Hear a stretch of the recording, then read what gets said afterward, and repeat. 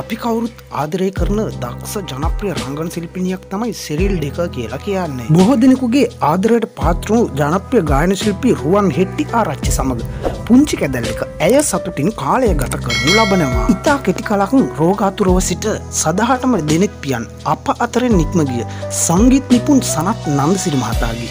වියෝ පිළිබඳව සිරිල් දෙක පවසා තිබුණේ මෙවැනි සංවේදී කතාවක්. ආදරණීය සනත් නන්දසිරි අංකල් ඔබතුමාගේ වියෝවීම මහත් කනගාටුදායක දෙයක්. මම හරි වාසනාවන්ත වුණා ඔබතුමා වගේ කෙනෙක්ගෙන් ඔබතුමාගේම දුවෙක්මෙන් ආදරය ලබන්න.